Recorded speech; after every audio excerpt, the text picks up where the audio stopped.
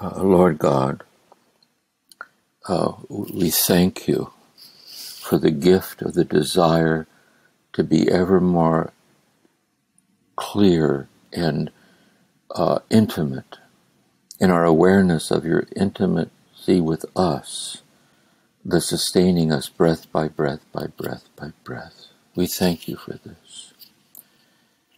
And we thank you also for the gift of uh, accepting the importance of pausing in, in devotional sincerity to open ourselves to you in a wordless, quiet descent down into the places where there's these reverberations of your sustaining love uh, in the depths of our mind, in the depths of our body, in the depths of our feelings, and so on.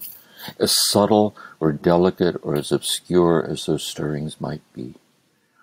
And we thank you for the desire not to break the thread of that connectedness with you as we go through the day, facing what we need to face, walking through what we need to walk through.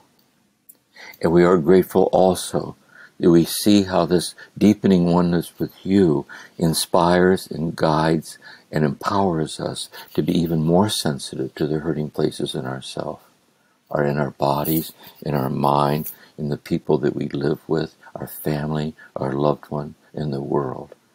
And that we're interiorly moved by your grace to reach out and touch the hurting places with love, that the suffering might dissolve in love, and to continue touching the hurting places with love until only love is left. And to be patient with this, and to be childlike, and to be open and faithful to this mysterious process in which we incarnate your healing presence in the midst of our lives. And we ask for this through your Son Jesus. Amen.